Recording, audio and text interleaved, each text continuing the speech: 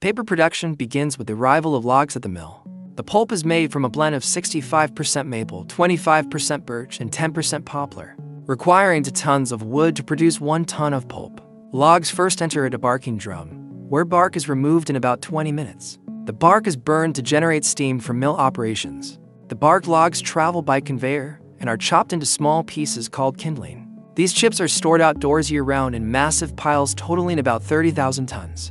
The next step is pulping. The kindling is washed and cooked for several hours at 315 F inside large washers. A recuperation boiler burns lignin-rich black liquor at 1800 F, recovering chemicals and producing additional steam. Dot after cooking, the brown pulp is washed and sent to a thickener, where quality is checked manually. The pulp is then bleached in an alkaline extraction tower using chlorine dioxide, gradually turning white.